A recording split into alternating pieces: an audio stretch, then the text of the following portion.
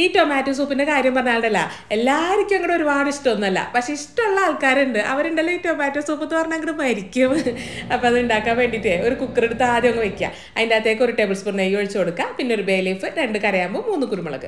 ഒരു അഷ്ണ ഇഞ്ചി ഒരു മൂന്നല്ലി വെളുത്തുള്ളി ഒരു പച്ചമുളക് ഒരു സവാള.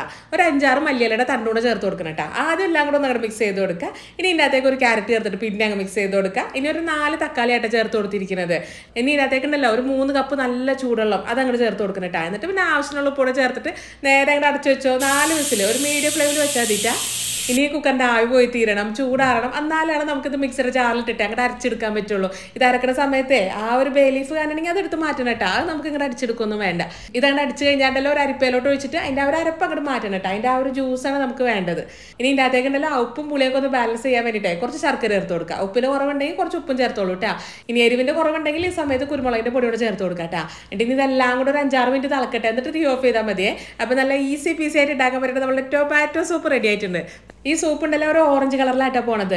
നല്ല റെഡിഷ് ടൊമാറ്റോ സൂപ്പാണ് വേണ്ടെങ്കിലേ നമ്മൾ നേരത്തെ ആ കുക്കറിൽ അടിച്ച സമയത്ത് ഒരു കഷ്ണം ബീട്രൂട്ട് കൊണ്ട് ചേർത്ത് തീറ്റ ആ ബീട്രൂട്ടിന്റെ ഒരു ഫ്ലേവർ ഇങ്ങനെ ലൈറ്റായിട്ട് സൈഡിൽ കൂടെ ഒക്കെ പോകുന്നുള്ളൂ വേറെ കുഴപ്പമൊന്നുമില്ല. ഈ സൂപ്പ് ഇങ്ങനെ സെർവ് ചെയ്യുന്ന സമയത്തെ ഒരു കഷ്ണം ബ്രെഡ് എടുത്തിട്ട് ബട്ടറിൽ ടോസ്റ്റ് ചെയ്തിട്ട് ഇതിന്റെ സൈഡിൽ വെക്കും. എന്നിട്ട് ആ ഒരു ബ്രെഡ് എടുത്തിട്ട് നമ്മുടെ സൂപ്പിൽ മുക്കി കഴിക്കാനായിട്ട് അടിപൊളി ടേസ്റ്റ് തന്നെയാണ്. ഈ ടൊമാറ്റോ സൂപ്പ് ഇഷ്ടമുള്ള ഫ്രണ്ട്സിനൊക്കെ വീഡിയോ ഷെയർ ചെയ്ത് കൊടുക്കാൻ മറക്കല്ലേ?